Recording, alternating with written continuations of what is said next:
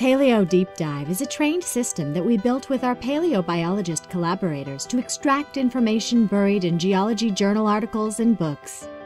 Over the last 400 years, paleobiologists have published hundreds of thousands of journal articles. These journal articles describe the biological classification, geographic distribution, and geological occurrence of fossils in text, figures, and tables. Paleo Deep Dive's hypothesis is that trained computing systems can not only aggregate fossil data more efficiently and comprehensively than ever before, but they can do so in ways that allow paleobiologists to address scientific questions with more data than ever before. For example, we are working to create a biodiversity curve which describes how many genera were living across geological ages.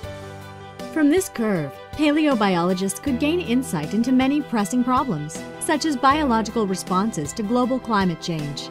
Over the last 13 years, 300 volunteer paleobiologists read more than 40,000 documents and manually compiled a database called PaleoDB to produce a high-resolution biodiversity curve. Every day, expert paleobiologists manually extract data from published resources and enter them into databases. This is a time-consuming, expensive, and rate-limiting step.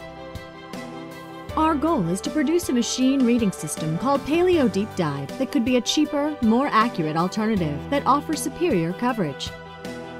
For example, consider the dinosaur T-Rex. Paleo Deep Dive would extract when and where each T-Rex fossil has been reported in hundreds of thousands of geology publications with almost no human intervention.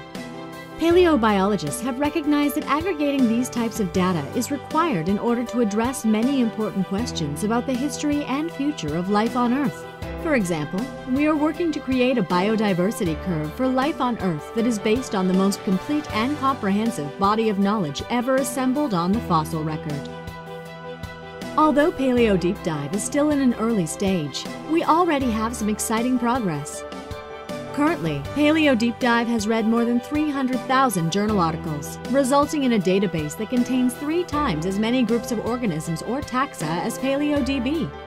To compare the extraction quality, we randomly selected 500 journal articles. With our geoscientist collaborators, we evaluated the quality of Paleo Deep Dive compared with PaleoDB. We found that Paleo Deep Dive had a precision of more than 90% on all extraction tasks, Surprisingly, on some tasks, Paleo Deep Dive even achieved higher precision than human volunteers. For example, out of all 18,000 occurrence relations extracted by humans in PaleoDB, more than 20% were found to be incorrect by our geoscientist expert collaborators. Paleo Deep Dive also has a higher recall. For example, Paleo Deep Dive discovered 15,000 distinct taxa in the 500 journal articles, while PaleoDB identified just 1,000. In fact, over 3,000 taxa identified by Paleo Deep Dive were not present at all in PaleoDB. Using Paleo Deep Dive, we were able to get much higher fidelity lists of organisms than human readers. We are in the process of using this much larger corpus to verify what we hope is the world's highest fidelity biodiversity curve.